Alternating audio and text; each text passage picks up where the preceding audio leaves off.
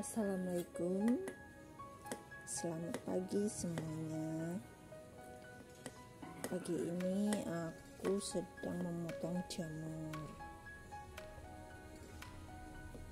Ini jamur mau aku masak. Buat isi dadar telur ya guys. Jadi aku potong-potong tipis